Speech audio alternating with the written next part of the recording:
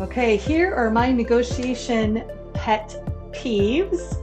What are your pet peeves? Number one, an open display of animosity between negotiators.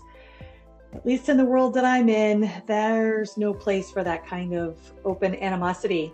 A, number two, a lack of understanding of what the other side needs. Three, incomplete or wrong data.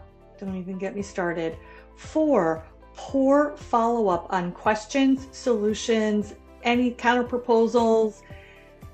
Five, business as usual responses to questions. Everything's changed, you guys. The supply chain has changed. We need better responses. Don't give me the same garbage you gave me three years ago. Life's changed.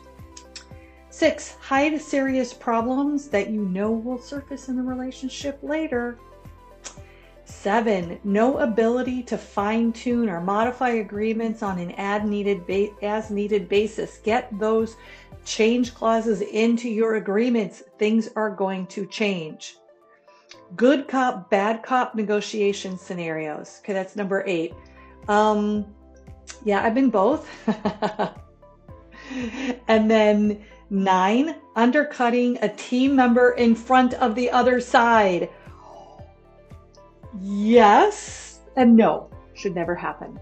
And then number 10, talking about developing a partnership while demanding outrageous concessions in the name of that partnership. We're partners. Uh, no, we're not. I'm now Debbie Doormat to you. No, thank you.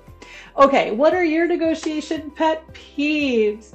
Um, and always reach out to me if you want to know, know how to negotiate highly collaborative business relationships. I'd love to work with you.